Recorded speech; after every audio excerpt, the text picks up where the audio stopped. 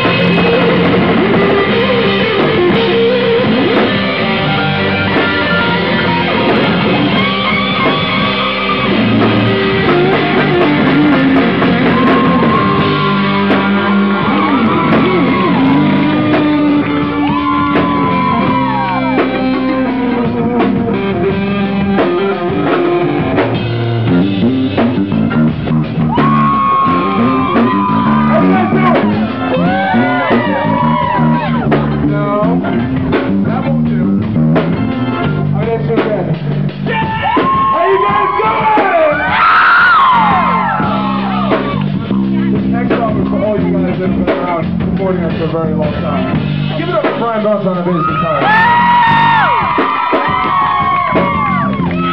Mike, if I could just get some more volume, period, out of, the, out of this monitor, it'd be great.